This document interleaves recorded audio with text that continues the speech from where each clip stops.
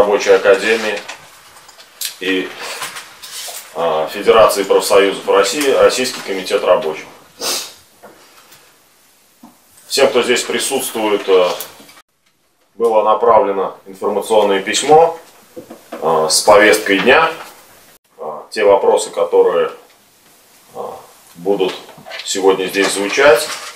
Но организационная комиссия маленечко изменила повестку, было предложено в повест... был предложен в повестку еще один вопрос. Мы сейчас еще раз озвучим повестку, утвердим ее, проголосуем э, за регламент, э, ознакомим тех, кто в первый раз присутствует, и напомним тем, кто уже э, пребывал на Российском комитете рабочих с регламентом работы, как все это у нас происходит.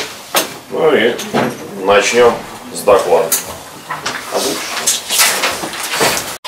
комитетом Российского комитета рабочих э, была предложена повестка э, текущего заседания э, Российского комитета рабочих. Первый вопрос о создании рабочих секций в профсоюзных организациях. Докладчик Гринев. Второй вопрос. Выдвижение работниками требований к работодателю о принятии проекта коллективного договора. Каждый докладчик. Третий вопрос. Действия профсоюзов по защите интересов работников в обстановке коронавируса. Докладчик Гиль. И четвертый вопрос о включении в коллективный договор норм труда и оплаты, правил и норм охраны труда и техники безопасности, отвечающих интересам работников. Докладчик Кашилов. Вот четыре вопроса комитет предлагает повестку. Нет, да, да, надо утвердить. Уважаемые товарищи, предлагается а, проголосовать, утвердить повестку для начала работы. Если есть какие-то у кого-то предложения, высказывайтесь. Если предложений нет, предлагается проголосовать, утвердить повестку дня и приступить к работе Российского комитета рабочих. Предложения есть, предложений нет. Прошу голосовать те, кто имеет мандат с решающим голосом. Кто за? Кто за? Против? Воздержавшиеся? Единогласно. Спасибо. Регламент. Так, нам, да, нужно принять регламент. Значит, э, предлагается, уважаемые товарищи, э, работу э, с 10 до 18.00, с 13.30 часовой перерыв на обед. Значит, со следующей повесткой, значит, для доклада предлагается для основного доклада 20 минут, для выступления в прениях э, до 7 минут. Э, всем выступающим э, здесь предлагается как бы и товарищам с решающим голосом, ну и ведущим тоже следить за регламентом. Просьба, чтобы укладывались товарищи в регламент, выступали по существу. Вот, как бы потому что четыре вопроса, а, время достаточно все-таки ограничено, а, чтобы нам выработать нормальные проекты постановлений для того, чтобы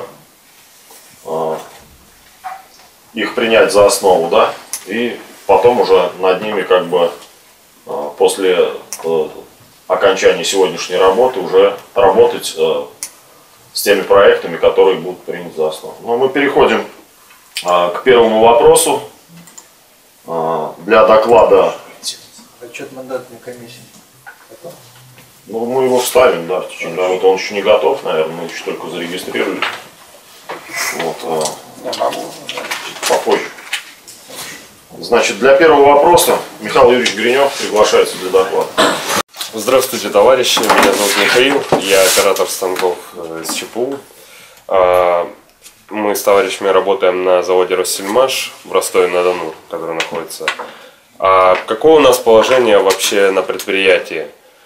Такое же, как и по всей России буржуазной, то есть э, оборудование старое, э, зарплаты низкие и охрана труда никакая вообще. То есть Э, Единственное отличие это то, что вот зарплаты э, как в отдаленных регионах, а вот цены на, по городу примерно как столичные. Вот. Долгое время на заводе у нас э, вспыхивали мелкие забастовки стихийные, э, когда несколько рабочих э, пытались как-то отстоять свои интересы. Ну, где-то получалось, конечно, где-то нет. И э, вот в прошлом году у нас э, во время разгара, э, получается,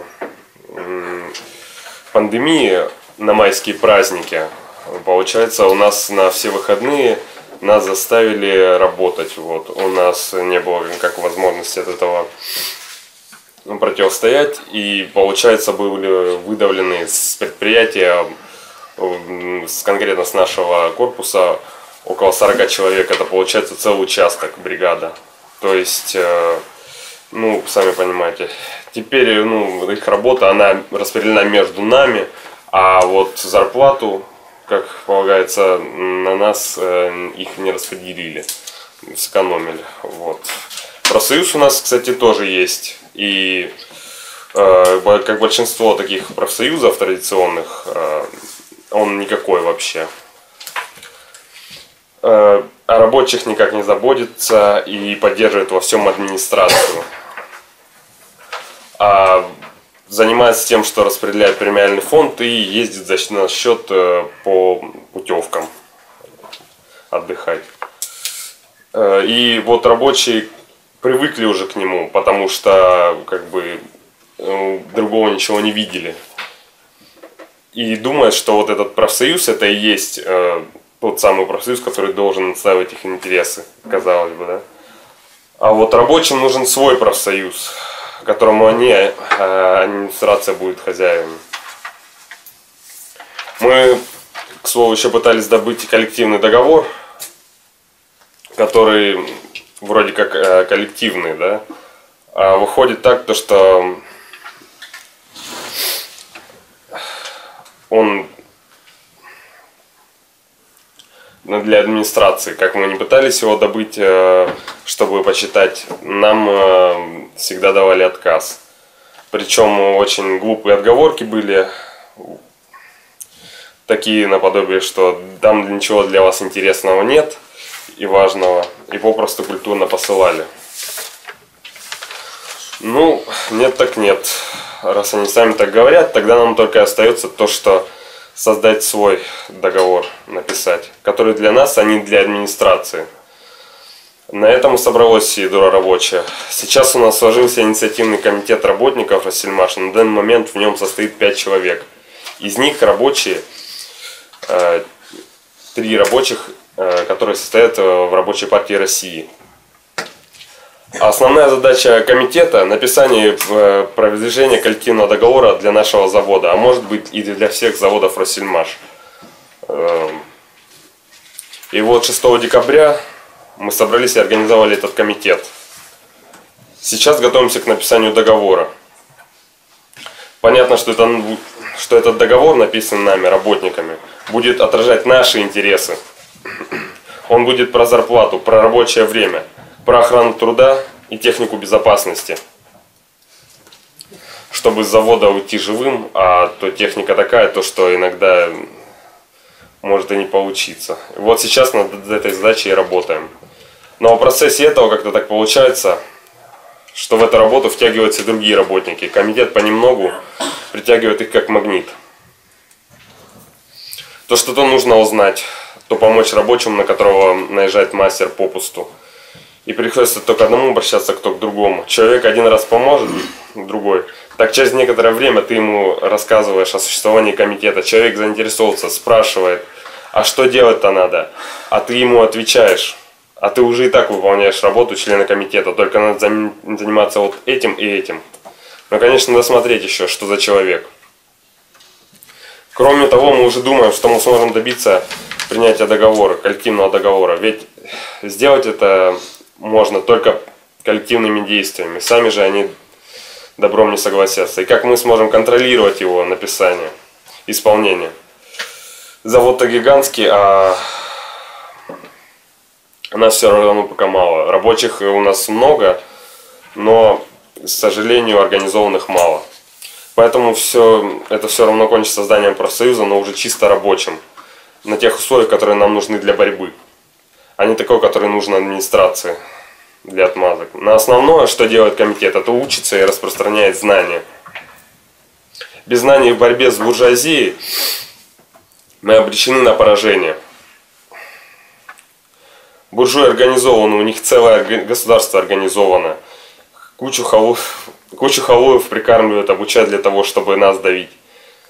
Значит, нам надо знать и законодательство, особенно трудовой кодекс, и методы борьбы, борьбы с буржуями, и те, которые раньше были, и, что, и те, которые сейчас сгодятся. Для учебы мы используем э, и газету «Народная правда», и за, за рабочее дело «Красное радио ФРА». Да и Красный университет э, открыт для всех. Главное для нас рабочих свободное время для изучения этого всего. Но рабочая партия – это очень важно для нас. Когда рабочие чувствуют, что им в любую минуту может прийти на помощь грамотный опытный человек, они начинают себя чувствовать увереннее. Большую помощь оказывают научные консультанты. Товарищи рабочие, спасибо за то, что делитесь своим опытом. Пользуйтесь нашим опытом создавать инициативные комитеты на производстве. Обменялись опытом, стали вдвое умнее. Может быть, ту задачу, которую решить не можем, мы не можем, другие уже решили, а может быть, сам кому-то подскажешь. Это очень полезно. Борьба дело творческое. Придумал, что-то получилось, поделись с товарищами. А без борьбы и мы пропадем, и страна пропадет. Так что это дело, товарищи. Наша жизнь в наших руках.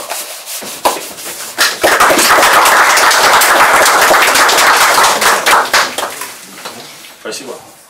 Скажите, пожалуйста, а вот у вас инициативная группа, активная группа, то есть вы какие-то сторону администрации действия проводите, спрашиваете коллективный договор, то есть они понимают, что вы что-то там затеяли, какое-то давление на вас оказывается со стороны? Нет, пока еще нет, мы только ну, в процессе написания. Есть еще, ну, еще, еще работа идет э, над коллективным договором. Мы сейчас собираем людей инициативный комитет, вот, э, то есть идет, ведется работа именно по привлечению и созданию коллективного договора. Нужно какую-то ну, массу иметь, чтобы нас просто не задавили вот, с нашими предложениями и вот с этим коллективным договором, потому что ну, предприятие такое, то, что там железные правила, то есть вообще все это пресекается.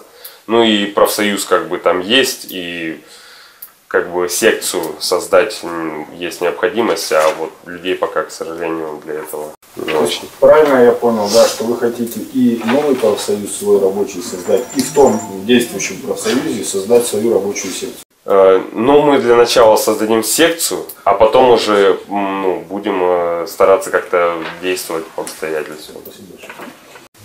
А, то есть ваш комитет я так понимаю, он входит вот э, в общий союз, который действующий на предприятии, да? Члены ну, э, я, допустим, я являюсь. Некоторые члены комитета, они не являются членами профсоюза.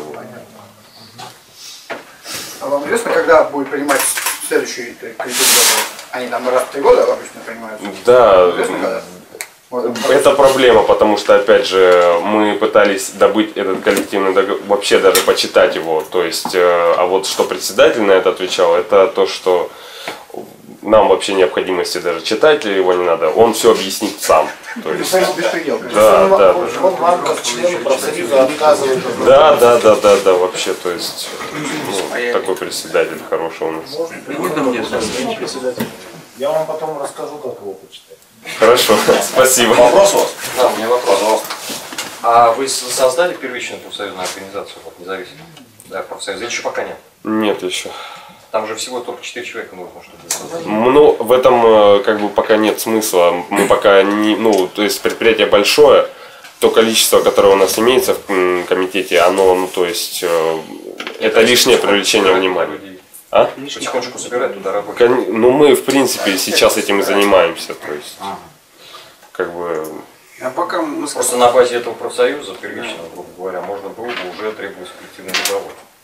Да, это, ну, понимаете сами, то, что нас просто выдавят оттуда, у нас э, не будет возможности вообще никак Пока нет действовать. слова профсоюз, администрация особо. Ну да, они не... ну, стоит, как бы, мы думаем, то, что не стоит привлекать внимание администрации, потому что да, это может плохо кончится.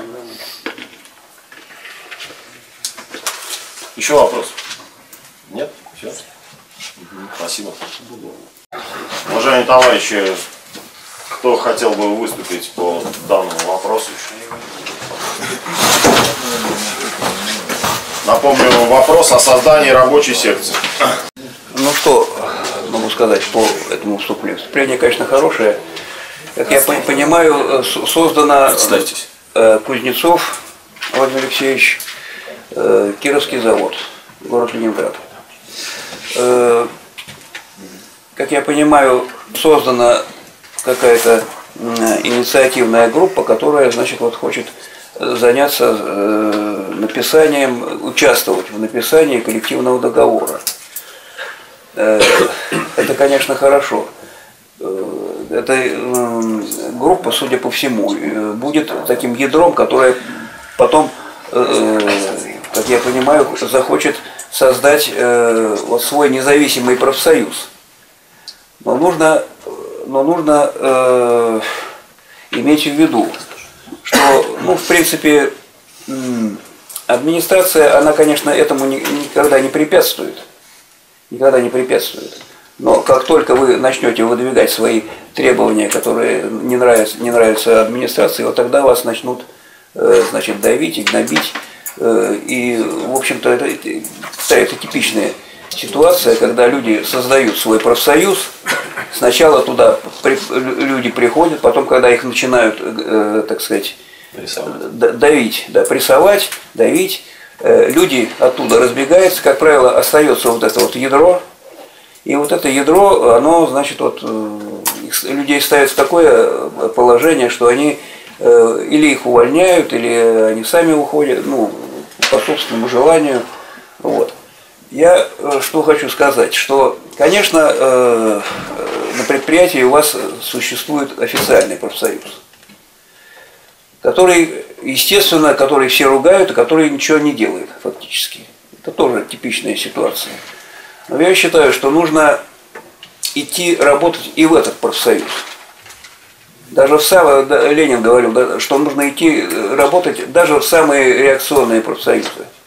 Почему? Потому что э, работая с этим профсоюзом, у вас больше возможностей, э, так сказать, получить аудиторию. Они же худо-бедно тоже проводят какие-то свои конференции, свои собрания. То есть всегда можно на этих собраниях выступить и э, высказать э, свою точку зрения и свои предложения.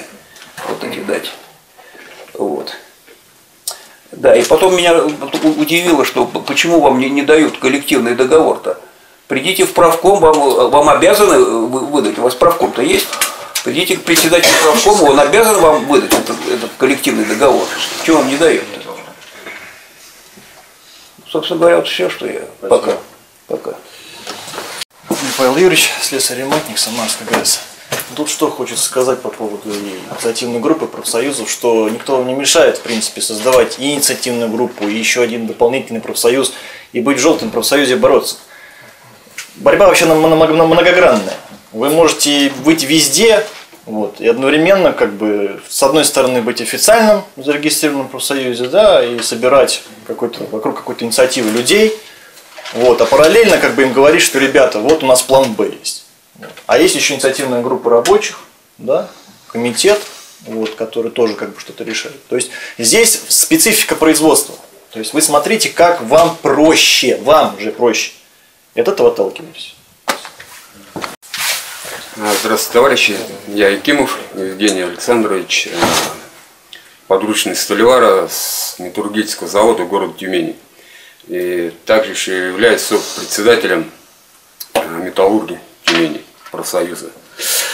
Э, На заводе я тружусь уже с 2012 года, то есть 10 год. И в декабре прошлого года э, мы провели собрание рабочих вместе с членами Тюменской ячейки РПР и решили создать свой профсоюз. Как бы я тоже состоял в своем, у нас на заводе есть свой ГМПРовский профсоюз. И добавок ко всему мы еще решили сделать свой профсоюз. Э, На данный момент вот в нашем профсоюзе сейчас около 100 человек состоит. И так, в февр- в феврале мы приняли еще это, нас приняли в состав Федерации э, профсоюзов России. Сейчас есть э, проект э, прогрессивного коллективного договора и собираем подписи. То есть у нас еще более 100 подписей доверенностей. Сейчас вот на данный момент у нас как бы получается два профсоюза. Один, который, вот говорят, желтый. И он, в принципе, тоже у нас, ну, никак не работает. Э, Хотя вот, как вот говорил, то, что колдогр, нам как бы его предоставляют колдогр. И у нас э, в конце 2019 года заканчивался колдогр. И председатель профсоюза нам говорил, вы приходите, беседуйте со мной, разговаривайте, приносите из- изменения, вно- вносите. Мы ему сколько говорили, но в итоге, то есть, э, колдогр был принят, ну, какой был, такой есть. Только что единственное, там социально изменилось. То есть до этого было у нас один день давался, например, на рождение ребенка, а в новшество получилось три дня. То есть э, никак- никаких изменений не получилось. Поэтому щ- как бы вот мы создали свой и э, руководители завода на данный момент сейчас оказывают ну, как бы очень сильное влияние на меня.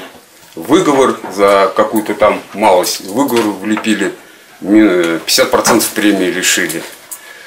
Ну и после этого как бы люди сразу перестали ну, подавать заявление на вступление в профсоюз. А, Но опять же пришлось как-то уговаривать, какие-то действия проводить у нас на заводе. А, э, Как бы сказать,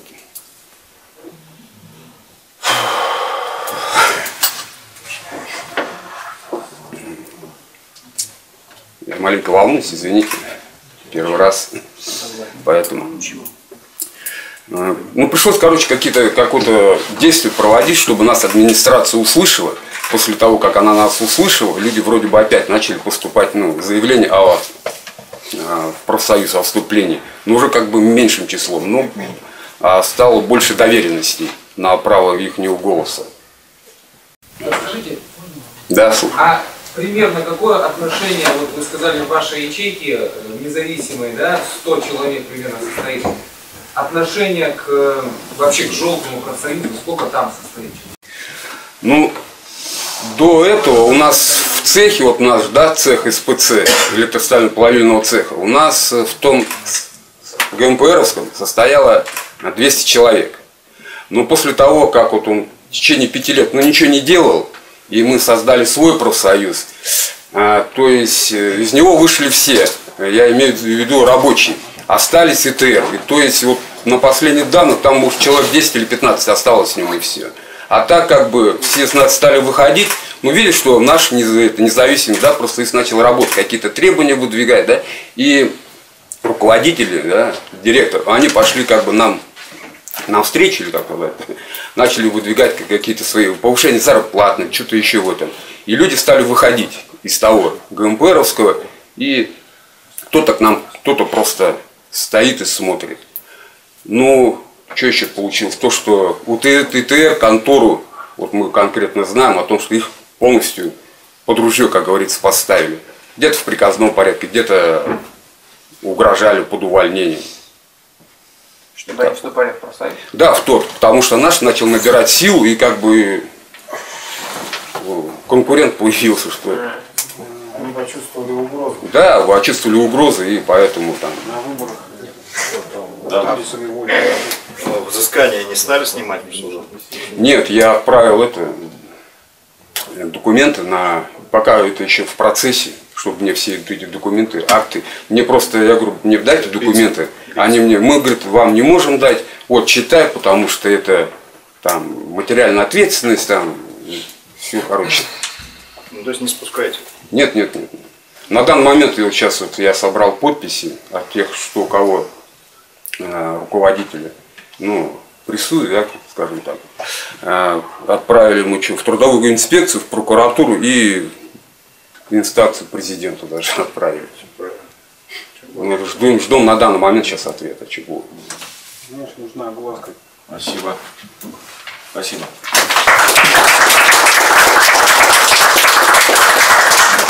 Уважаемые товарищи, есть у кого выступить еще по вопросу?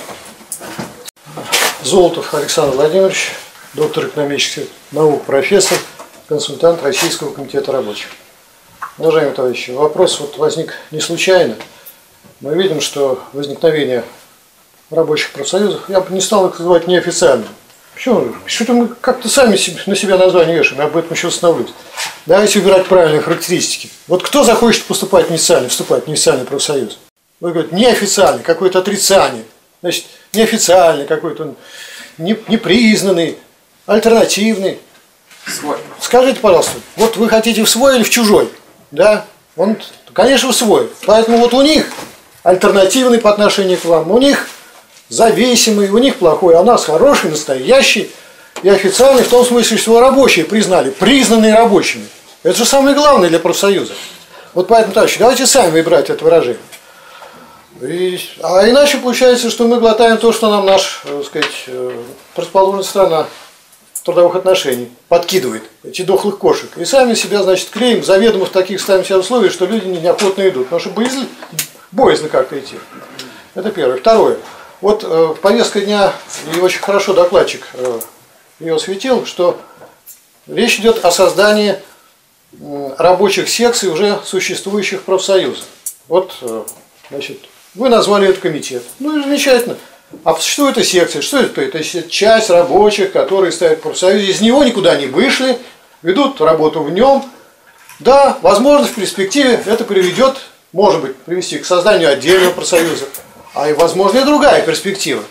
А вот когда вы будете так все вести, вести, переизберете прокуроргов, переизберете состав цехкомов, председателей цеховых комитетов, тогда в один прекрасный день можно переизбрать и правком.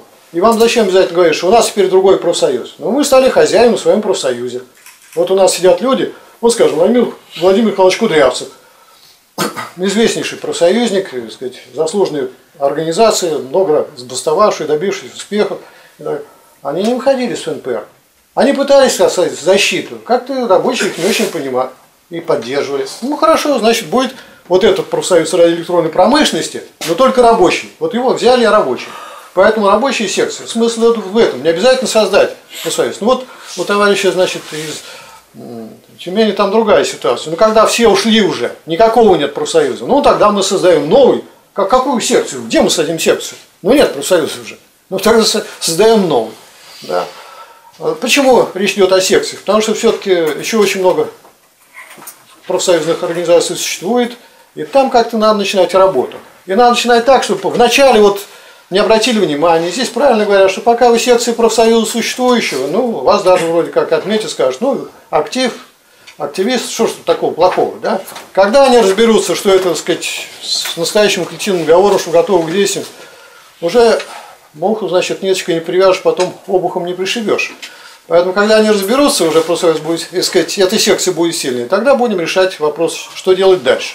А пока это действительно такая форма, которая вот этот начальный этап превращения рабочего профсоюза по существу из маленького, большого, либо влиятельный, или в сильный, в действующий, этот этап надо пройти как можно более безболезненно. Он действительно болезненный, потому что начинает давить. Так рабочих всегда давят. Неорганизованные давят тем, что забирают зарплату, графики такие внедряют убийственные, но плю- плюют на условия труда. То есть давление с той стороны всегда есть. Когда вы начинаете действовать, и на вас тоже переходит давление. Это нормально совершенно. А кто ожидал другого в условиях классовой борьбы? Ну кто ожидал? Вы начинаете бороться, товарищи, вы начинаете бороться. И поэтому вы из положения придавленных людей голову поднимаете. Ну, конечно, на вас тоже давление оказывают. Но это можно только порадоваться. Это означает, что вас вроде как признали. Вас признали силу. Потому что если вы бессильны, вы и так просто задавлены. На вас специально и давить-то не надо. Вы уже задавлены. Вот в этой ситуации я тоже хотел бы на что обратить внимание. Вот мы все время говорим, нас давит, туда-сюда, давит, конечно, давит. Иногда это попадает в наши, сказать, сообщения. Вот, э, вот я про Тюмень имею в виду, что там давят профсоюзного активиста. Ну хорошо, это написала буржуазное средство массовой информации, давит. Вы скажете, это вот как расценивать, это в чью пользу давит? Это вы на слезу, что ли, давите? Когда это такое, так сказать, заявление? Та сторона не будет плакать. Она говорит, ну хорошо, значит мы достигли цели. А они уже заплакали и жалуются на жизнь. Так вы когда вот такое сообщение даете, я уже обращаюсь к нашим товарищам, когда вот они, так сказать, тиражируют просто без оговоров, мы этим привлекаем на нашу сторону или не привлекаем? Вот я хочу вспомнить, у нас эпизод был такой, борьбы, острой классовой борьбы. У нас был Дмитрий Васильевич Гошин, первый сопредседатель Российского комитета рабочих. Он работал на Красном Сорме и выступал на митинге. И вот на митинге на него напал, значит, Булаткин, тоже как будто бы рабочий, из такого вот профсоюза, который был тогда еще вот так называемый демократический, а на самом деле вот антироссийский. И взяли, значит, и перевернули стол, упал Дмитрий Васильевич, сломали ногу. Но просто нападение. И как нам было подать, что нападение на рабочего активиста? Если вы дадите это в заголовок нападение рабочего активиста, значит, люди, которые еще не в активе, они подумают, думают, что ж такое? Значит, вот мы туда пойдем, на нас нападут, ногу сломают, а может даже и голову пробьют. Так может воздержимся? Вот не так в нашей газете «Народной правде» был освещен этот инцидент. Не так. Значит, Михаил Васильевич Попов написал, гоните Булаткиных врагов рабочих. Вот был эпизод, так мы его должны как преподнести? Мы должны заклеймить того негодяя, кто поднимает руку на рабочего активиста. Поэтому, если мы хотим вот из этой ситуации извлечь, так сказать, выгоду, в том смысле, чтобы поддержать рабочих, можно было по-другому сказать, что, значит, столевар Якимов тверд как сталь. Вот на него давит, а он тверд как сталь не свернет. Другой же поворот. И тогда как-то уважая столевара рабочего, а не то, что он жертва. Ну кого вы, сказать, привлечете на показе жертвы? Да, мы жертвы пали борьбе роковой, там пели серьезные это люди. Но дальше оптимистично. Настанет пора и восстанет народ. Вот этим завершается -то. Дорогие товарищи, поэтому давайте выбирать вот правильно оценку и правильно оценивать то, что происходит. То, что нас давит, на нас нападают, это естественно всегда будет. А вы давайте подчеркивать это и к этому призывать, показывать, что наши людей давят, они ломаются, не сломлены. И как-то даже в более критической ситуации говорили, вот к расстрелу ведут людей, и что, чем кончалось? Пожалеете меня? Всех не перестреляешь. И все равно, сказать, вас будут давить. Вот так надо ставить вопрос. И вы тоже можете поставить вопрос, ну что вы Якиму даете? Бесполезно. Да, вот буржуазия это умеет делать. Как знаете, там что-нибудь такое, они все вешают и говорят, я такой-то. И показать, что вот, ну хорошо, так может быть тогда все вот ваши товарищи наденут, так сказать, за Якимова. И ходят. И может быть, так сказать, в транспорте тоже такие листочки, они говорят, за Якимова. Ну как-то так сказать, ну думают, ну действительно с ним не справиться. Сотни людей, все за Якимова. С кем мы имеем дело? Мы не с Якимовым имеем дело, а с большим коллективом. А Якимов это представитель его. Так за ним все-таки коллектив стоит. Вот я думаю, что это тоже надо иметь в виду, когда мы начинаем нашу борьбу в форме создания рабочей секции, начального этого рабочего профсоюза, чтобы давайте, конечно, будут и большие трудности, где-то может что-то не пойдет не нашу пользу, но вот выражать твердую уверенность в том, что наше дело правое, что всякий враг лучше не связывайся, потому что мы, тебе это потом припомнить народ. Припомнить тебе народ. Погоди, погоди. Вот это надо всегда подчеркивать, чтобы отступились они от этого дела. И чтобы помягче проходило это становление нашего рабочего профсоюза. У нас разговор об этом пошел с руководством. Мне руководство сказало так.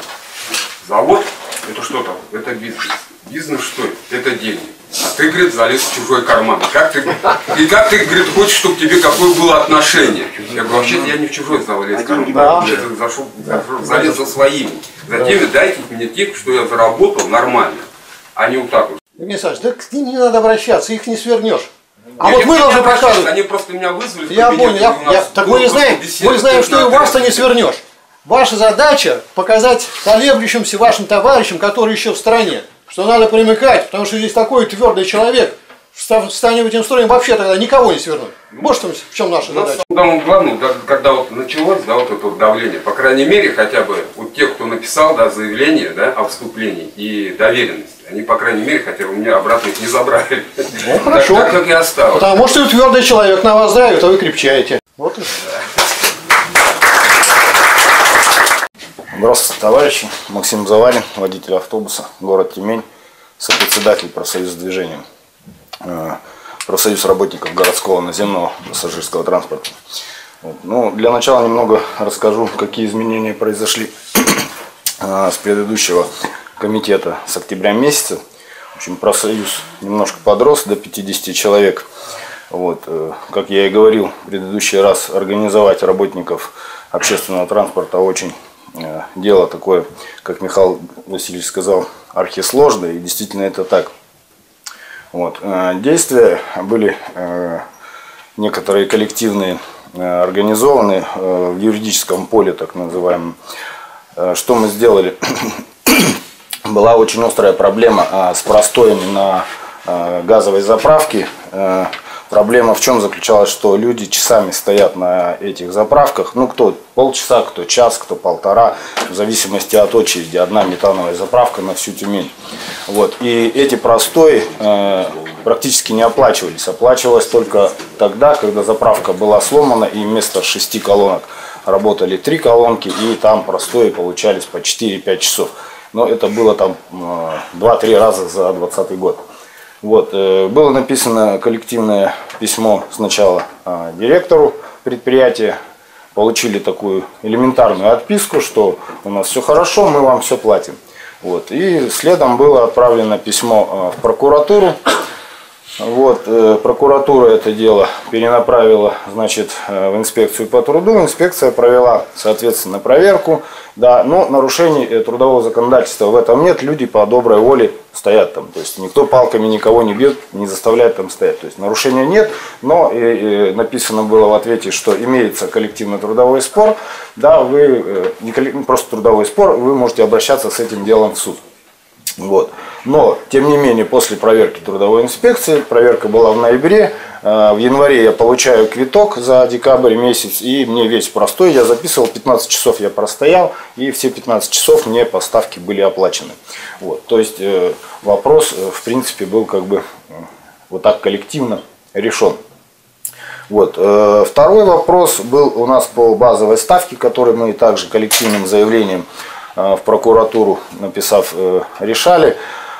Вот, ставка была базовая, из которой рассчитывается часовая ставка занижена на 50%, то есть она должна была там быть 12 130, а была 8112. Соответственно, я получаю 50 тысяч, да, должен был на самом деле получать там 75 тысяч в месяц.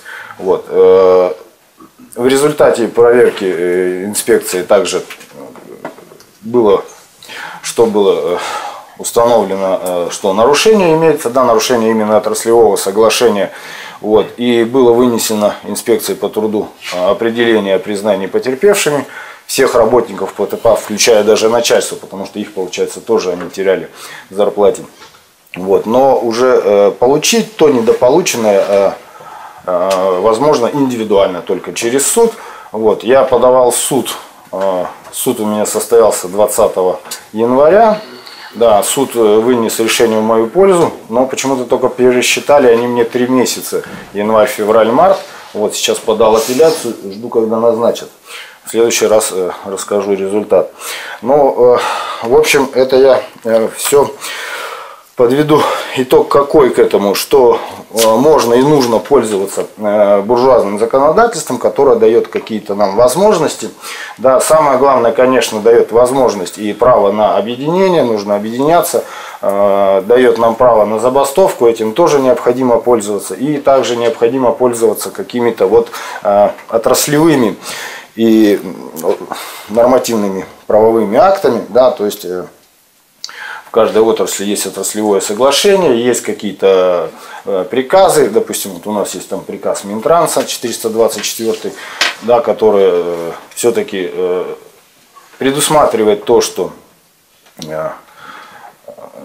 жизнь работников должна быть, ну, придерживаться каким-то там критериям, да, чтобы люди не убивали себя, не подвергали свою жизнь и жизнь окружающих, но это вот касаемо водителей общественного транспорта, э, опасности, да, жизни и здоровья. То есть, если я не высыпаюсь между сменами и вожу людей, это, несомненно, э, приводит э, может привести к каким-то трагическим последствиям. Да, и поэтому, допустим, в этом приказе э, четко прописано, что между сменами водитель автобуса должен э, отдыхать 11 часов.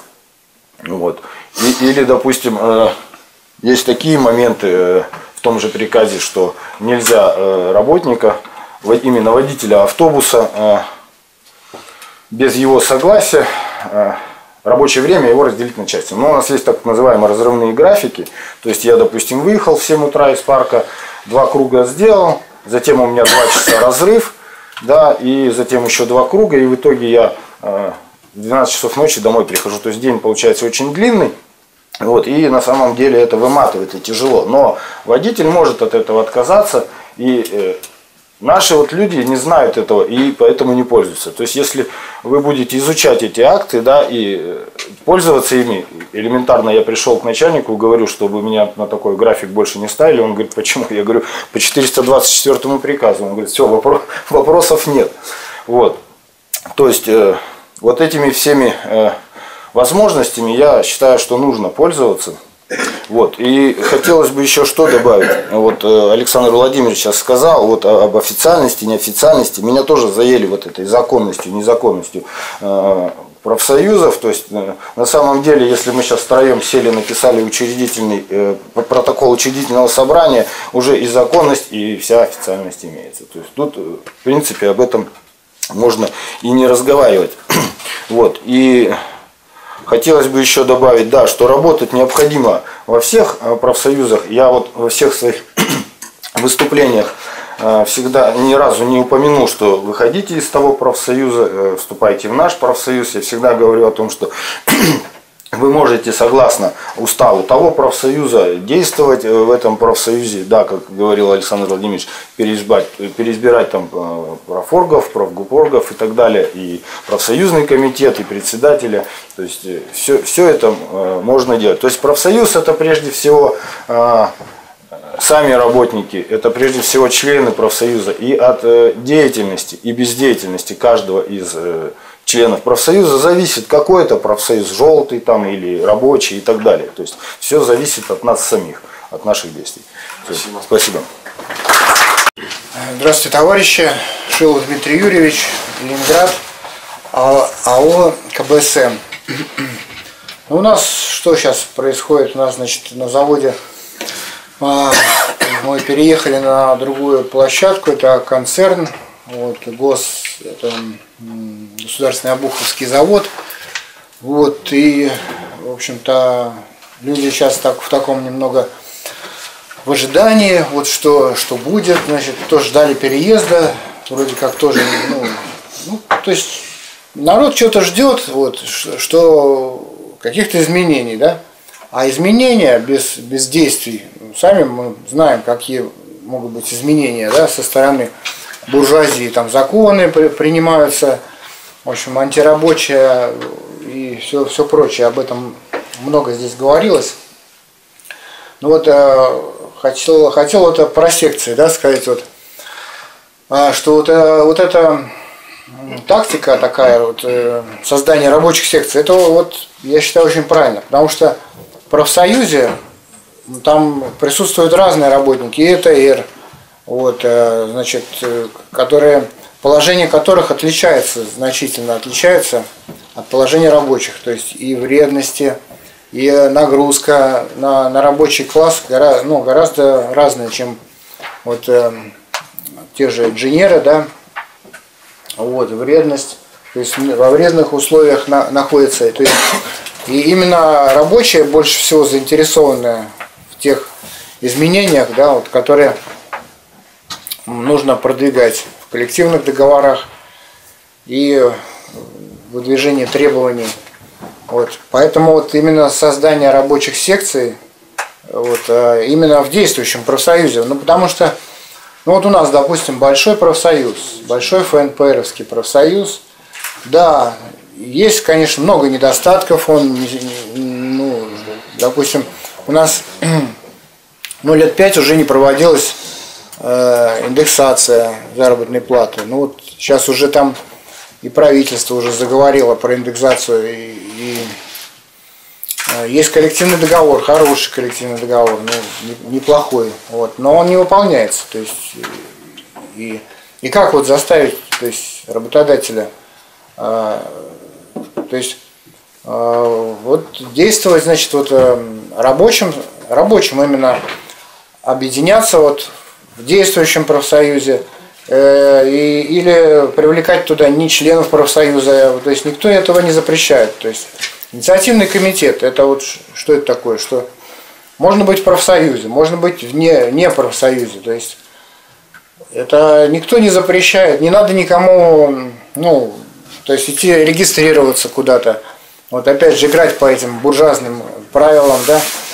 Вот, то есть это огромное поле возможностей дают для деятельности. Вот, набирать силу, то есть набирать силу, не подставляться раньше времени, да, под, под удар, что очень важно. Потому что сколько таких случаев, когда вот пять человек там, да, вышли там чуть ли не с красным флагом, ну, ну все, всех ра- разбомбили, да, и, и другие уже люди, которые со стороны это видят, то есть это такое негативное оказывает на, на них влияние, что вот этот опыт, да, поражения, да, там уволили, там, то есть все там э, куда-то там вот это самое направили на какой-то там этот самый, ну, на- перевели на другую работу какую-то, ну, в общем, вот такой, не, это, вот, то есть бо- бороться вот именно рабочую, усиливать вот э, рабочую власть в профсоюзе. То есть тогда можно и, перевести, и переизбрать руководство, то есть потихонечку подбираться к этому самому, да, к руководству профсоюза, вот, выдвигать требования. У нас сейчас вот и это самое, в этом году планируется перезаключение коллективного договора. Вот, то есть и людям надо объяснять. То есть позиция такая в основном, что ну вот сейчас вот если индексацию не будет, все, ухожу из профсоюза. Ну как бы, а зачем уходить из профсоюза? Ты как бы, и что, что ты, что ты этим добьешься? Ну, 500 рублей там то эти меньше будешь платить, как бы, да, взносы. Ну, что, что, у тебя тогда вообще никогда, никакого не будет э, значит, возможности улучшить положение. То есть вот в этом, я считаю, надо развивать это на- направление, то есть бороться в действующем профсоюзе.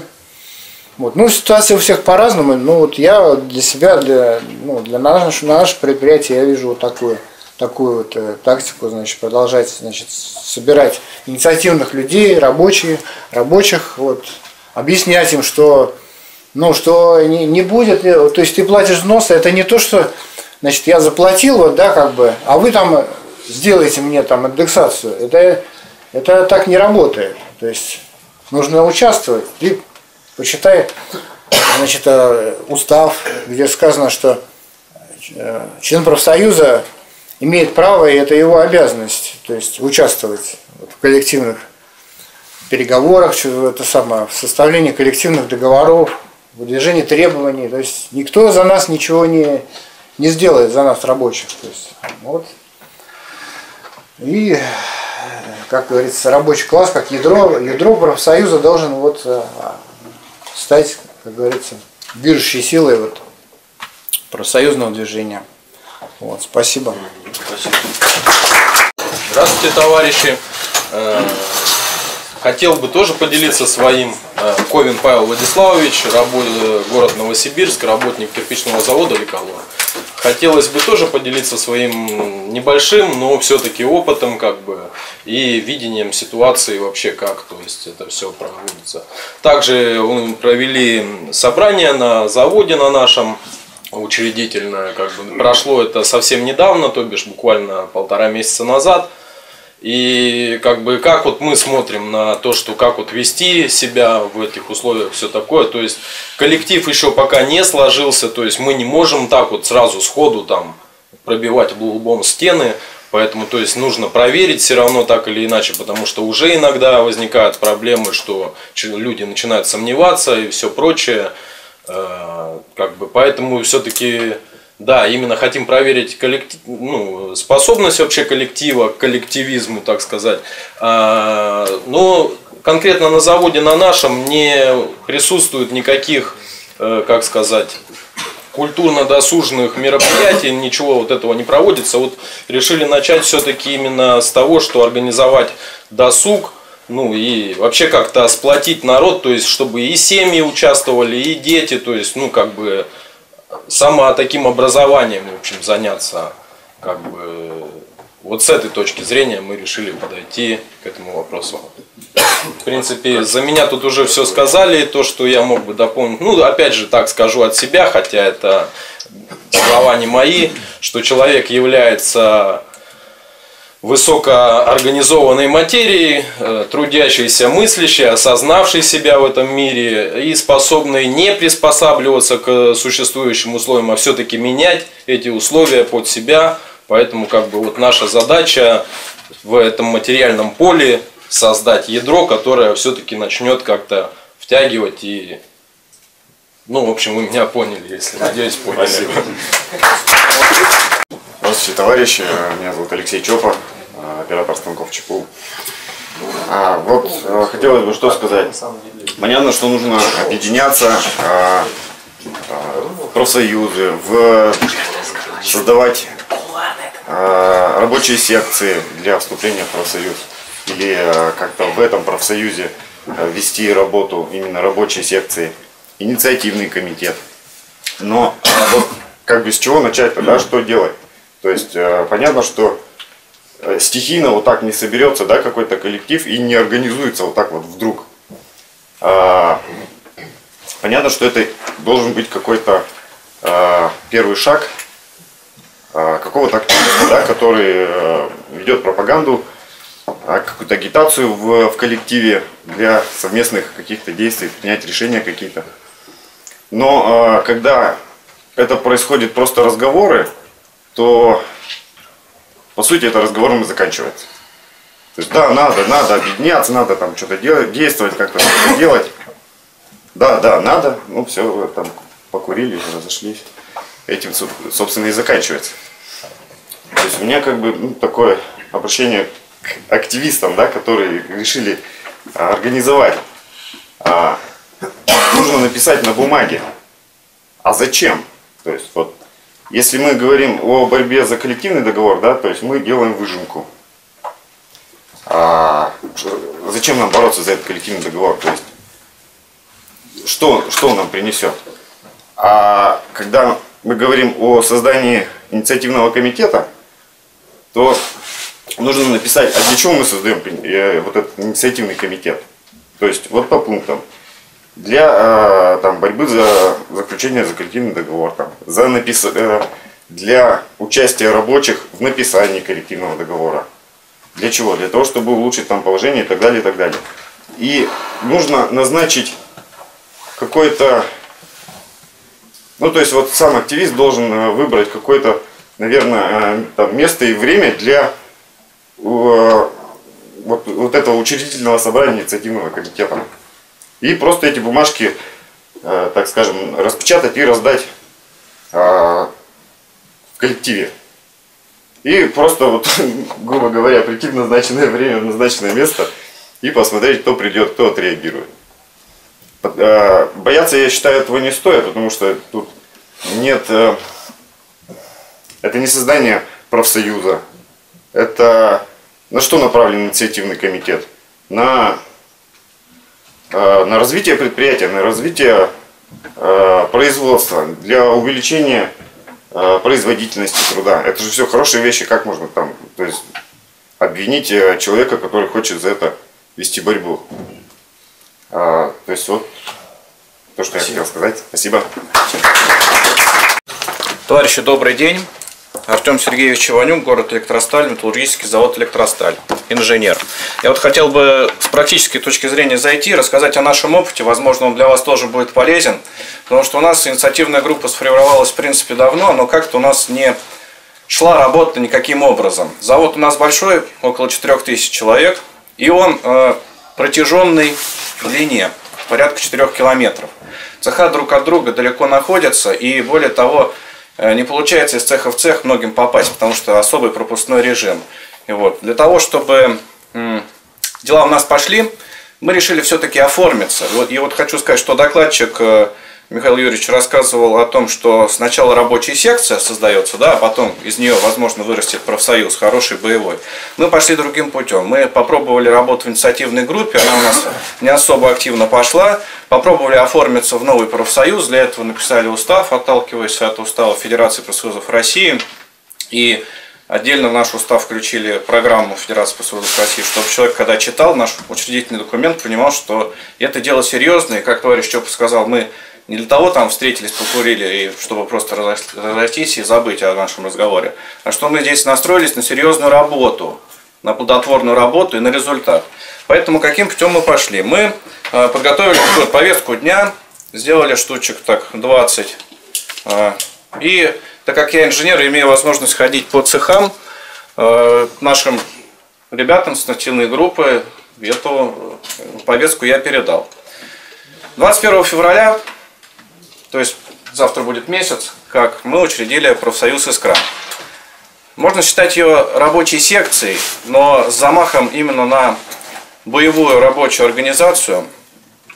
И провели мы этот э, учредительный, э, учредительное собрание э, как практическое занятие на семинаре Фонда рабочей академии. Вот вместе с Сергеем Александровичем Горбушкиным в Электростале мы сейчас такие семинары, семинары наращиваем для того, чтобы делиться опытом не только с работниками моего завода, но еще и других предприятий.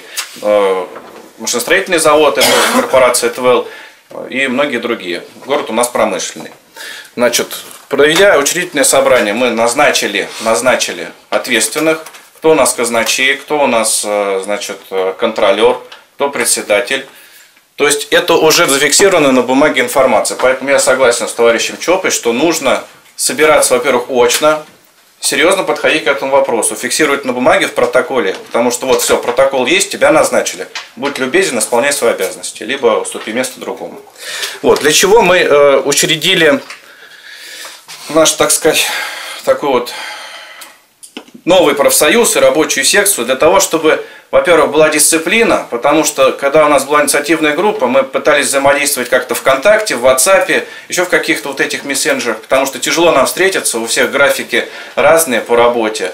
Там сегодня этот может, завтра этот не может. И с учетом того, что и пандемия вот это у нас э, некоторый отпечаток наложила, э, мы попробовали позаимствовать опыт рабочей партии России по взаимодействию, потому что члены рабочей партии России тоже разбросаны еще дальше по всей России, а некоторые даже и за пределами нашей страны. Мы создали э, так называемую корпоративную почту, выкупили домен искроprof.ru, стоит он всего 300 рублей, ну, в зоне РУ на год, и подключили, так сказать, на Mail.ru тоже такую же почту, как у Рабочей партии России. И теперь из-за того, что мы тяжело можем друг с другом мощно взаимодействовать внутри завода, мы можем взаимодействовать через эту почту. Например, вышел новый протокол, какое-то решение правкома нашего. Мы взяли и разослали его всем членам. Это делается очень просто. Человек сразу получил уведомление и ознакомился с тем, что руководящий орган профсоюзный наш выработал новое решение. Вот. Опять же, вот инициативная группа, рабочая секция, ну как-то у нас ведь должна быть поставлена сдача взносов, например. Люди должны понимать, на что деньги сдаются. Не просто так, чтобы мы тут могли э, чай вкусный попить с пирожками, да, а на серьезное дело. Во-первых, чтобы напечатать заявление наступления и э, на делегирование полно, полномочий, да, представление интересов, нужно закупить бумагу, нужно для принтера купить там расходный материал. Чтобы на Российский комитет рабочих делегировать представителя, тоже нужны деньги на дорогу, на проживание, на еду.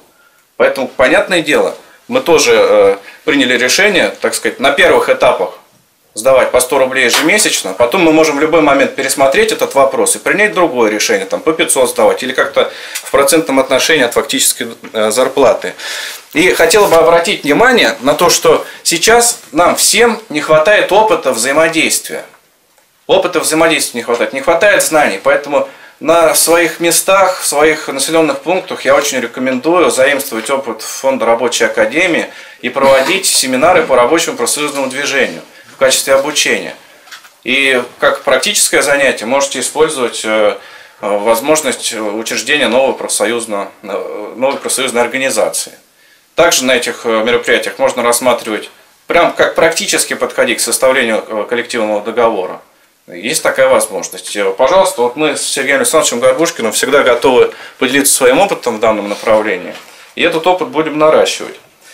Ну и подводя черту своего маленького такого выступления, я хотел бы э, напомнить для всех стихотворение э, Сергея Есенина, поэма «Ленин» называется. Есть там такие замечательные слова. Вот, хотелось бы, чтобы все его прочли и всегда помнили.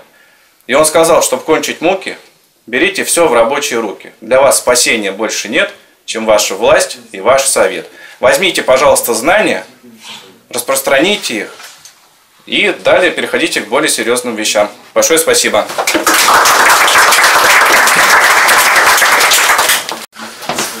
На этой очень хорошей ночи, э, наверное, прекратим обсуждение данного вопроса. Хотелось бы еще, а, значит, сделать такое объявление, уважаемые товарищи.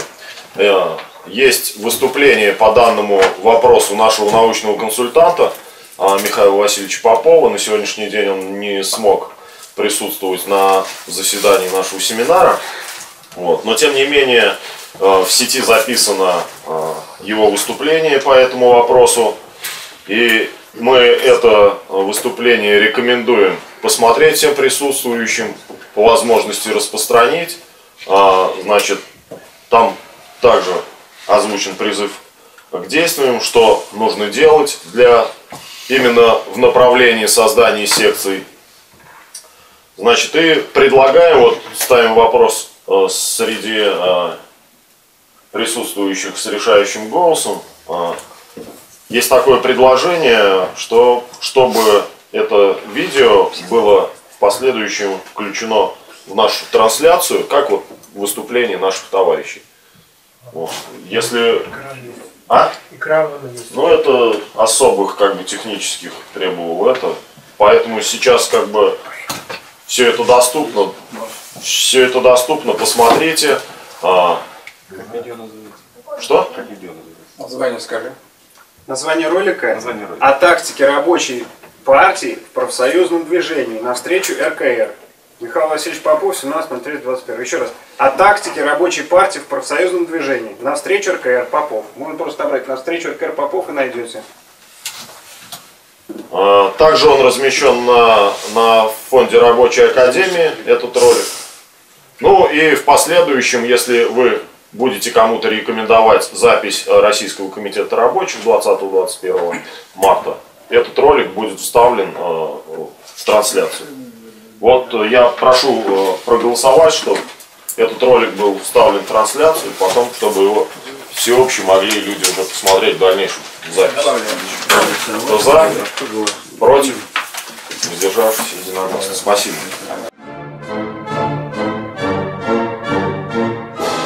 о тактике рабочей партии в профсоюзном движении. Рабочая партия с маленькой буквы. Имеется в виду, если она действительно рабочая партия, то вот она такую-то тактику должна вести. Ну, я хочу начать с того, что э, если мы вырабатываем тактику э, работы в профсоюзах, и если мы хотим, чтобы эта тактика была успешной, надо принять во внимание, что такое профсоюзы. Вот. А что такое профсоюзы? Профсоюзы это не начальник и не председатель правкома. А профсоюзы – это объединение рабочих. Поэтому, когда вот люди подходят и говорят, вот наш профсоюз желтый, я не очень понимаю, что вот этим хотят сказать. Ну, в профсоюз могут войти там электромонтажники, токари, слесари, так, наладчики могут войти, кто угодно, станочники, стропольщики, докеры. Ну, как можно вот его назвать вот желтым просто профсоюз, хотя так называют? Что имеется в виду? Что вот э, в этом профсоюзе преобладает какая-то идеология. А какая может быть идеология, скажите, пожалуйста, в профсоюзном движении, в профсоюзе, в, э, в капиталистическом обществе? Вы много э, нашли членов партии последовательных, которые твердо стоят на позициях марксизма. Мы вот э, регулярно, вот рабочая партия России регулярно освобождается от таких членов партии, которые себя запятнали тем, что они отходят от сути марксистского учения, особенно в плане отношения к рабочим, или пренебрежения к рабочим, неуважение рабочих, вот стремление командовать рабочим, или наоборот, если считают рабочие проявили какую-то самостоятельность, и они говорят, что ну это и кто-то там или привез, или заставил, или угрожал, или подкупил. Да? Но это же ясно, что Дмитриев-то так ведь не сделает, это кто-то его подсунул, потому что его за человека не хотят считать. Не хотят считать рабочих за людей. Поэтому это не очень хороший так сказать, разговор. И даже непонятно, э, вот э, я почему считаю необходимым сделать соответствующий такой ролик и такое заявление сделать, как консультант Российского комитета рабочих, э, что какое-то существует подспудное такое течение, что надо взять из этих профсоюзов, которые есть, выйти и сделать какие-то другие новые чистые. А новые чистые из каких будут людей состоять? Из тех, которые живут в буржуазном обществе. Но вы же имеете в виду беспартийных? Если члены партии, так вы их, пожалуйста, чистите вовсю. Есть учеба партийная, есть требования так сказать, к знаниям, к идеям и так далее. А у вас есть требования, что в профсоюзе все были вот коммунистических взглядов? У пятому профсоюзе не должно быть таких требований. Профсоюз а давайте обратимся к первоисточнику. Первоисточником э, теоретическим является э, книга товарища Маркса «Нищета философии». Речь идет о философии Прудона. Прудон, между прочим, был рабочим, а Маркс, между прочим, был не рабочим. Ну, Маркс ему объяснял, что сначала начинается, рабочие начинают борьбу за зарплату, это первое побуждение, которое э, собирает их и э, заставляет объединяться. А потом они приходят к пониманию того, что им главное для них это соединиться. Если они соединятся, то они добудут эту зарплату. А если они не соединятся, то они не добьются того, что они хотят. Поэтому главным правом является право на объединение. И вот это право на объединение за это право больше всего и борются рабочие. То есть вся история рабочего движения говорит о том, что надо защищать право рабочих на образование профсоюзов. То есть, а что такое профсоюз? Это профессиональный союз. Люди одной профессии собрались, теперь я говорю, что о, нет, это не те профсоюзы. Что значит не те? Я не понимаю, что значит не те? Не те люди, не тот народ попался. Ну, попался тот народ, который находится под воздействием буржуазной идеологии. Если у нас капиталистическая общественно-экономическая формация. Что у людей в головах, у большинства? Вы что, если у них в, больш... в головах э, не коммунистические идеи или не вполне коммунистические идеи, и что не нужно э, с ними вместе соединяться для борьбы против э, плохих условий труда, опасных, вредных, которые приводят к, к увечью, или э, не надо бороться за повышение зарплаты, или не надо увеличить отпуска, не надо сокращать рабочий день. Разве этот вопрос о такой борьбе, он связан с э, тем, какие у людей э, взгляды или позиции? А если вы оцениваете профессиональный союз не по э, его составу, он состоит из, из рабочих одной профессии. Ну, это основная масса просто рабочих, ну, есть еще и работники. Там тоже есть профсоюзы. Но мы сейчас говорим прежде всего о рабочих профсоюзах. Рабочих одной профессии. Профессиональный союз соединяет их в одно. Это плохо или хорошо? Это хорошо. Зачем тогда вы говорите об этом сейчас, об идеях? А теперь вопрос об идеях. Ну так это вопрос отдельный. Для того, чтобы идеи были другие, надо вносить э, эту, эти идеи в, в умы. Но в какие умы? Соединившиеся или разрозненные умы, которые думают каждый только о себе? Разве это плохо, если есть профессиональные союзы? Хорошо. Это во-первых. Во-вторых, значит, э, существует такое стремление сказать, о, мы сейчас выйдем из этого профсоюза и не будем взносы платить. Хорошо, вы не будете взносы платить. А вы не собираетесь организовывать борьбу э, за свои интересы? Если вы собираетесь организовывать, для этого, между прочим, вам нужно будет печатать проекты коллективных договоров, печатать всякого разного рода материалы, документы.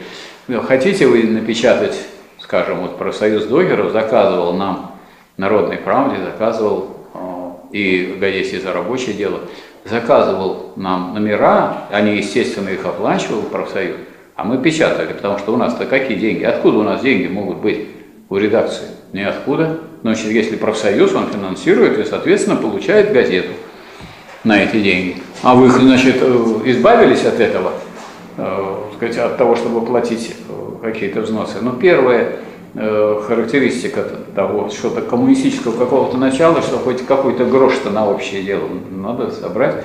Другое дело, что надо контролировать. Не надо, э, не надо торопиться.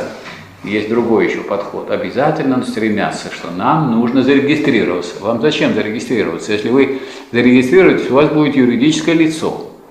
Юридическое лицо плохо или хорошо?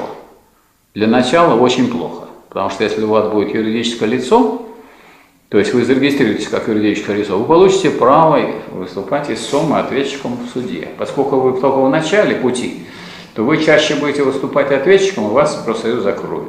Вам это надо? Это не значит, что закроют как юридическое лицо, а фактически как объединение закрыть нельзя. Нельзя закрыть профсоюз. Если я, вот мы объединились три человека и будем сообща что-то делать, это закрыть невозможно. А вот если вы сделали юридическое лицо, вам придется заниматься бухгалтерией. А сейчас придумали, что для связи с э, налоговой инспекцией нужно защищенные средства связи. Я это все хорошо знаю, поскольку я вот руководитель э, общественного объединения, которое зарегистрировано Министерством печати, простите, Министерством э, юстиции Российской Федерации – и мы вынуждены э, посылать отчеты, соответственно, держать бухгалтера, соответственно, тратить на это средства, и очень немалые, и платить вот этой э, организации вот эти связи, в которых мы пишем свои нули, потому что денег у нас нету, и поэтому 0, 0, 0, 0, но это 0 мы пишем в отчетах, а сказать, за то, что мы пишем нули в отчетах, нам надо платить большие деньги. Теперь проскальзывает такая мысль, что некоторые товарищи хотят завидовать тем председателям правкомов, как они говорят, желтых профсоюзов, которые сидят, получают деньги и вырвались, наконец, из положения рабочих и стали над рабочими. Вот теперь он сидит в кабинете, напротив него есть компьютер, а я вот, например, на сказать, своем опыте вот, имею такой случай, когда мы с, с товарищем Федотовым, который был в свое время председателем правкома докеров, когда мы с ним, а я как консультант правкома докеров морского порта Санкт-Петербурга, выступали защитниками профсоюзной организации, а бывшего, 10 лет бывшего э, председателем правкома э, порта э, гражданина Моисеенко, который требовал миллион с профсоюза, а они его уволили, потому что он, так сказать, э, разрушал, собственно говоря, профсоюз. И мы выиграли в этом суде. И что хорошего, что надо судиться с этим самым председателем правкома? Вы хотите судиться с кем-нибудь? Вам зачем юридическое лицо? Или вы хотите нанять адвокатов и им платить? Ну, будете платить большие деньги. Но только имейте в виду, что адвокаты, они э, на серьезный спор не пойдут ни с судьей, ни с прокурором. Почему? А потому что это то поле, с которого они собирают себе деньги. Поэтому там не ждите, что они встанут и скажут. Там надо самим вставать и говорить. И вот именно поэтому за этим вот стремлением срочно, быстренько собрать 5-7 человек и зарегистрировать, и получается, что э, вы, во-первых, выставите наиболее активных, там 5, 7, 10, 15 человек, как бы в открытое поле вытащите, чтобы по ним началась стрельба. И дальше будут всякие способы придумывать к тому, чтобы как их уволить, то каким предлогом. Это не так и, и сложно. Один раз предупредить, один раз выговор, второй раз выговор, и потом э, на увольнение, и все. Зачем это делать? Кто порекомендовал, кто посоветовал, я не знаю. Кто посоветовал браться, значит, выходить из больших профсоюзов, делать маленькие и делать их объектом атак. Непонятно с какой целью. А есть другой способ. Вот, например, как делали э, товарищи докеры, которые тонули в Большом профсоюзе, профсоюзе работников водного транспорта ПРВТ. А дело в том, что в порту работает много людей, и докеры составляют меньшинство. И это меньшинство никак не могло проявить свою волю. Но они сделали, сказать, стали собирать докеров. То есть по существу сделали рабочую секцию, докерскую секцию профсоюза работников водного транспорта. Надо сказать, что толковые люди из профсоюза работников водного транспорта, в том числе с, э, с площади труда, то есть из Федерации в России, им в этом помогали. Потому что люди понимают, что докеры могут забастовать. Докеры могут остановить производство на время и могут э, решить те проблемы, которые другие трудящиеся, при том, что они больше знают, может быть, более грамотные и так далее, они не могут это решить. Хотя докеры имеют и два, и три некоторые высших образования. Так что нельзя сказать, что это люди малограмотные. И вот эти докеры собирались еженедельно и решали все вопросы и готовили забастовку. И когда они вызрели, когда они стали уже так сказать, организованной массой, вот тогда эти докеры э, учредили свой профсоюз. И так родился профсоюз докеров. Но они не спешили с этим делом, ничем им не мешало, что они в профсоюз работников водного транспорта. Более того, теперь они имеют отдельный профсоюз, но они находятся в союзе с профсоюзом работников водного транспорта, который, скажем, другие товарищи заявили бы, что он желтый. Но профсоюз работников водного транспорта включает тех работников, тех рабочих, которые занимаются механизацией, ремонтируют козловые э, краны, ремонтируют погрузчики и так далее. И вот в этом профсоюзе находится теперь меньше людей, э, скажем, на первом контейнерном терминале, чем э, докеров. Но тогда докеры образовали единый, вместе с этим профсоюзом работников водного транспорта, вместе с профорганизацией, единый представительный орган. Главным является так сказать, профсоюз докеров, значит, это председатель и заместитель председателя единого комитета. На все переговоры они идут на единый, на все действия коллективные тоже идут едино с ПРВТ. А можно было бы и говорить, ПРВТ это желтый профсоюз, мы светлый, непонятно какой, Хотя, э, как вы понимаете, и докеры, они не святые, там есть люди, настроенные коммунистически, а больше, конечно, людей настроены так, как настроены люди в буржуазном обществе, то есть антикоммунистически. Но когда значит, было десятилетие профсоюза докеров, вот там был большой, большой праздник, и товарищи докеры приходили к нам-то с Федотовым, и, и, и к Рысеву, Рысевым, это второй член, и к Тимофееву, это три э, коммуниста Токера, и я там был как консультант Российской профсоюза. Они приходили, говорят, можно я хочу с вами выпить за вас. Я антикоммунист, но я хочу за вас выпить. Почему? Потому что они прекрасно понимали, что мы им оказываем реальную помощь. А вот ни от кого другого они такой помощи не получат. Поэтому я думаю, что если говорить о том, какую тактику выбрать, вот такая э, кажущаяся тактика, что сказать, мы сейчас создадим новый Отличный коммунистический профсоюз. Так у вас ни одного коммуниста нет, или два коммуниста на, на предприятии. Какой же у вас будет коммунистический профсоюз? Ну, три будет коммунистов. Все равно это мало. Поэтому профсоюзы не надо так сказать, э, их э, торопиться создавать. А вот что мы можем сделать, и что нам совершенно никто не мешает делать, сделать рабочую секцию того профсоюза, который вы считаете там желтым или сиреневым, каким зеленым, голубым. Как хотите его считайте, но вы можете выделить рабочих этого профсоюза и создать секцию. То есть вот, вот все члены профсоюза рабочие собираются в секцию. Кто вам это запрещает делать? Никто. Для этого надо выходить из профсоюза? Не надо. Что-нибудь менять надо наверху? Не надо. Если вы потом получите эта секция большую силу, это может быть большинство рабочих, большинство в этом профсоюзе, ну, оно переберете потом председателя профсоюза. Вы же оцениваете профсоюз не потому, кто в него входит, а потому, кто его начальник. Разве это подход, это желтый подход профсоюза? Оценивать надо потому, кто в составе этого профсоюза, а не кто его начальник. Вы по начальнику оцениваете так, как делает буржуазия. Это и есть буржуазный подход к профсоюзам. А вот Ленин говорил, что надо работать в каждом, самом желтом, в самом желтом профсоюзе. А в чем работа? А ну рабочих сорганизуйте из этого профсоюза. А потом, если вы наберете силу, и у вас будет, допустим, 300 рабочих или 500 рабочих, тогда вопрос о том, что вы взять и уволить рабочего, уже не стоит. Как вы уволите 300 рабочих, это несерьезно, а как 500.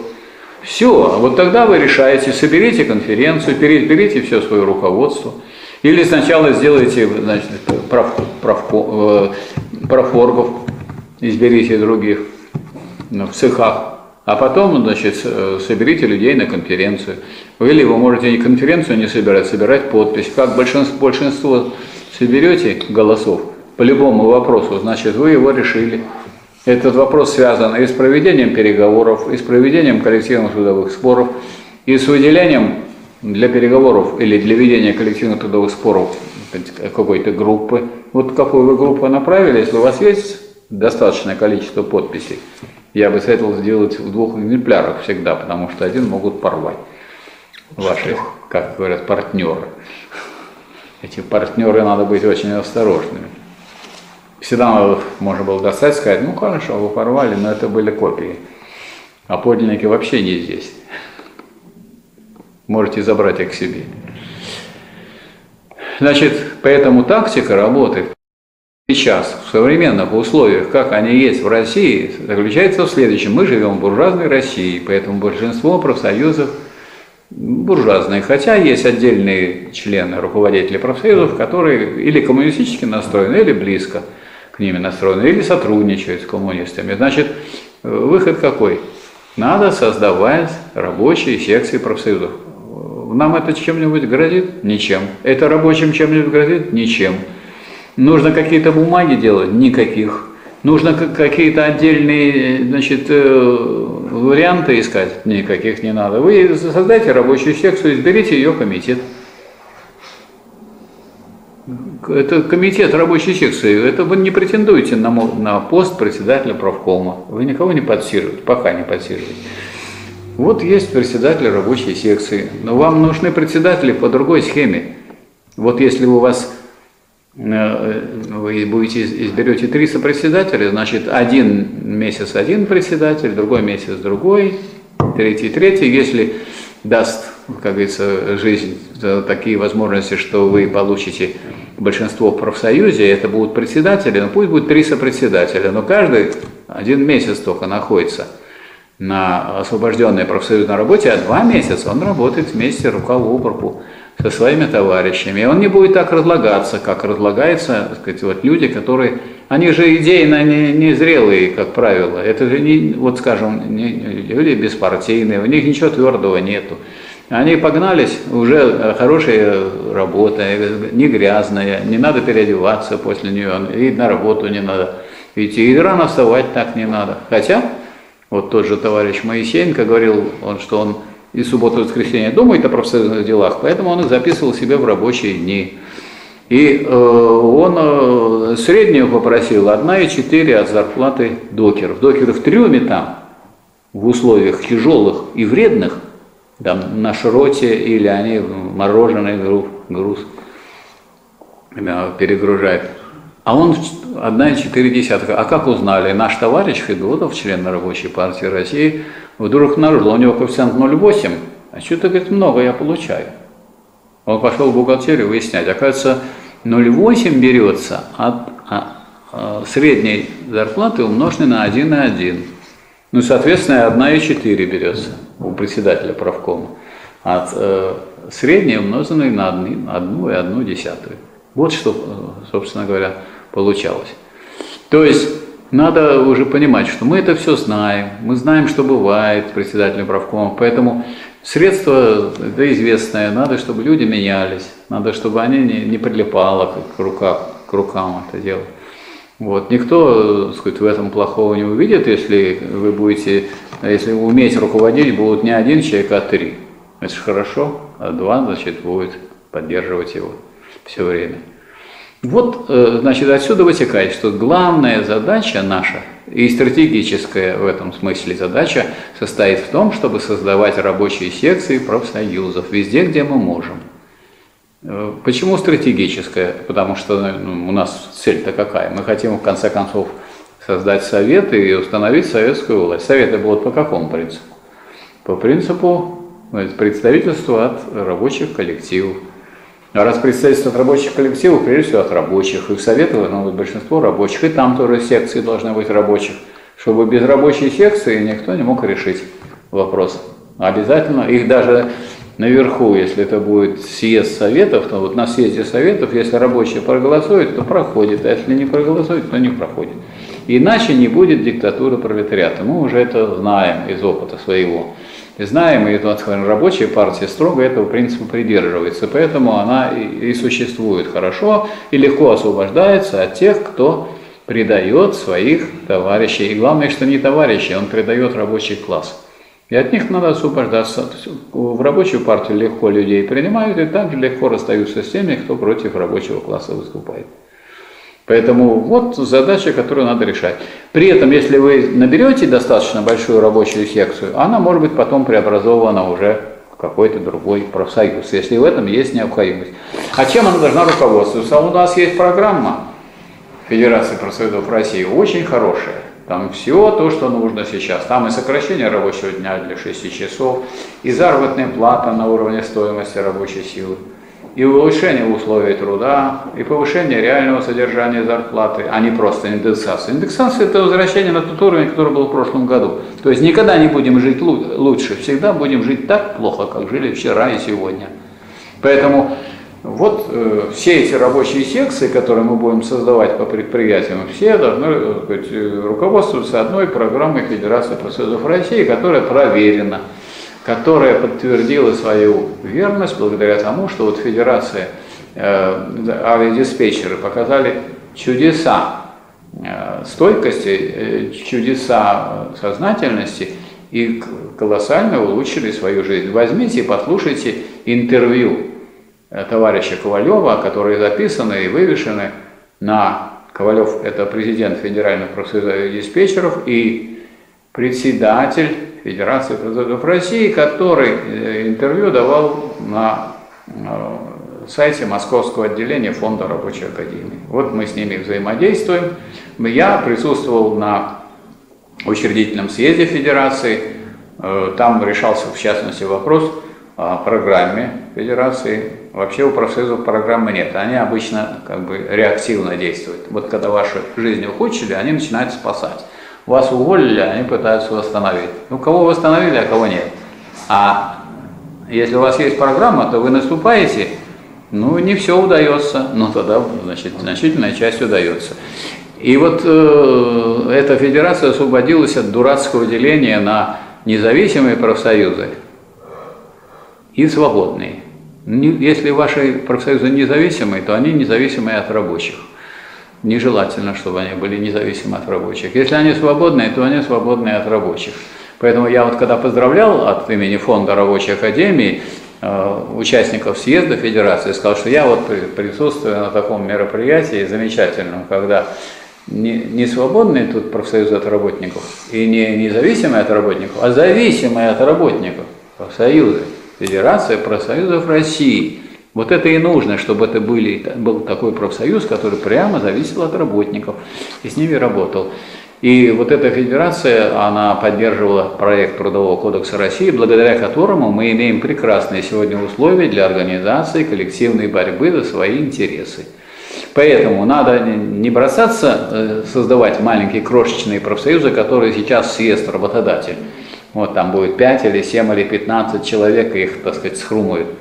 А надо создавать мощные рабочие секции, которые в известный, с известного момента могут быть преобразованы в новые профсоюзы. И если они будут так организованы, что у них их характер поддерживаться будет, что они не были свободными от рабочих и не были независимы от рабочих, тогда это будет большая сила, на которую можно будет опираться в создании советов рабочих. А советы рабочих по представительству от забастовочных комитетов – предприятий. А чтобы были забастовочные комитеты, надо, чтобы была забастовочная борьба. За что? За улучшение своей жизни. А если нет забастовочной борьбы, то если люди не могут побороться даже за такие вещи, так ни о какой другой власти речи быть не может. Поэтому нечего об этом болтать и говорить. Поэтому весь вопрос упирается в борьбу. Борьбу прежде всего. Начинается она как экономическая, а потом она перейдет уже и в политическую. Но она перейдет. А не надо, так сказать, э, забегать вперед и думать, что от того, что мы там, скажем, создадим 5 или 7 человек, мы продвинулись сильно вперед. Мы не продвинулись сильно вперед. Поэтому стратегия такой вот борьбы и тактика борьбы в профсоюзном движении рабочей партии состоит в том, чтобы поддерживать э, создание рабочих комитетов, во, рабочих секций во всех профсоюзах, до которых мы можем добраться. Вот давайте будем это делать. И будем постепенно потом преобразовывать эти рабочие секции в новые профсоюзы и с новым руководством. И, кстати, с таким руководством, которое сменяется, чтобы было вот таких три сопредседателя, и из них каждого можно было подойти, когда он будет два месяца не работать освобожденным, и, так сказать, подойти и по спине погладить, чтобы он не взорвался. Вот тогда будет хорошо. Э, Соответствующее э, предложение, как консультант Российского комитета рабочих, я направил и в рабочую комиссию Рабочей партии России, и в оргкомиссию Рабочей партии России, к организаторам оргкомитета съезда, и э, вот это выступление рассматриваю как некое обоснование своих предложений. И думаю, что требуется соответствующее решение Российского комитета рабочих, которое будет 20 21 числа. Должен сказать, что э, народ реагирует на это. Вот э, мне буквально вчера позвонил рабочий с Петербургского тракторного завода, сказал, как связаться, куда приехать. Мы... Я говорю, а вы знаете, там делегирование, надо 5 человек. Да, да, мы знаем, надо делегировать, куда ехать, мы его делегируем. То есть люди понимают, что надо соединяться, что э, люди, которые объединены, они все, а разъединенные ничто, их можно разбить поодиночке. Поэтому, а рабочих больше, чем буржуазии. Поэтому если рабочие соединятся, они будут побеждать. А если они будут плодить крошечные профсоюзики, которых можно удавить, то их и будут душить. Вот, собственно, что я хотел сказать и пообещать, э, пожелать успеха. Российскому комитету рабочих, рабочим России в их борьбе за, за их жизненные интересы. Успехов в борьбе, товарищи!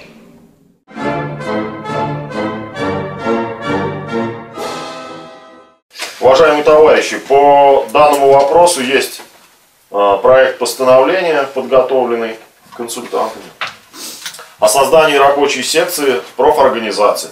А, по нашей практике мы зачитываем, потом записываем проект постановлений. А для чего, значит, ведется его запись? Для того, чтобы мы его принимаем за основу, чтобы потом поработать с текстом, если у кого-то есть какие-то правки, а, с этими правками они могут обращаться к докладчикам или к научным консультантам.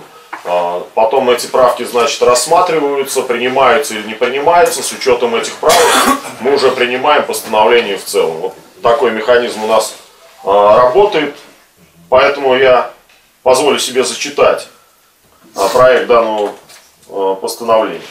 Постановление Российского комитета рабочих о создании рабочих секций профорганизаций. В целях преодоления подчинения профсоюзных организаций работодателям, стремящимся к образованию карбанных профсоюзов, Российский комитет рабочих рекомендует в инициативном порядке создавать в профорганизациях рабочие секции, берущие в свои руки составление и продвижение прогрессивных проектов коллективных договоров, организацию коллективных трудовых споров за улучшение условий труда и оплаты работников. В этой работе надо руководствоваться программой Федерации профсоюзов России «Задачи коллективных действий». А, еще раз напомню, что Программа задачи коллективных действий принята э, большинством рабочих профсоюзов. Э, где-то она выполняется, где-то ей руководствуется. Также она вывешена на сайте ФРАИ, Фонда рабочей академии. Уважаемые товарищи, предлагается данный проект постановления принять за основу. Кто за? Кто против? Воздержавшись, единогласно. Так, напомню, что с поправками по данному вопросу обращаться или к Михаилу Юрьевичу Гриневу, докладчик наш, или к нашим научным консультантам. Это товарищ Золото, товарищ Дегтярев, товарищ Юрков. Да. Уважаемые товарищи, есть предложение э, дать слово председателю мандатной комиссии, товарищу Федину, для того, чтобы озвучить э, момент регистрации все, кто присутствует, пожалуйста. Конечно. Такая должность.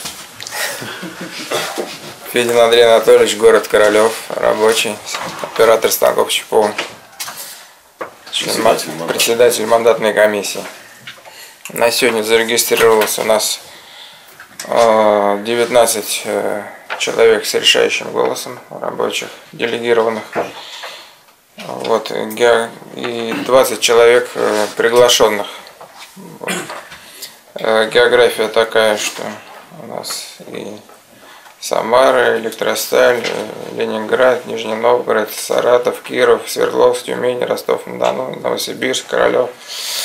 такие предприятия представляют люди, как работники ПАО Т+, Самарский филиал Самарская ГРЭС, ПАО Федеральная сетевая компания «Единая энергетическая система», АО «Петербургский тракторный завод, э, АО «Металлургический завод Электросталь», СПБ ГУП, пассажир Автотранс, АО «Конструкторское бюро специальное машиностроение», СПБ, Нижегородское ПАО «Гидромаш», ООО «НПП Мера Королев», привет, Королев, экспериментальный производительный комбинат Уральского федерального университета, муниципальное предприятие торгового округа Самара, тра, э, троллейбусное управление, Ураль, гор- городского троллейбуса.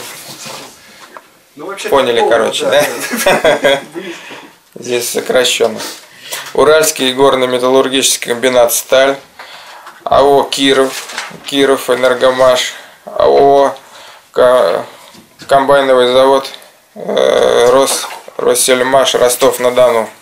Ну, вот такая примерно география на сегодня. Вот. И такое количество товарищей делегированных и слушателей. 19-20. У нас количество делегированных с решающим голосом подтягивается к количеству с нерешающим голосом. В принципе, это хорошая тенденция. Будем надеяться, что так и будет э, рост происходить потихоньку. Спасибо. Как бы все. Спасибо. Уважаемые товарищи, э, есть предложение утвердить отчет мандатной комиссии. Прошу голосовать. Кто за? Кто против? Воздержавшись? Единогласно. Спасибо.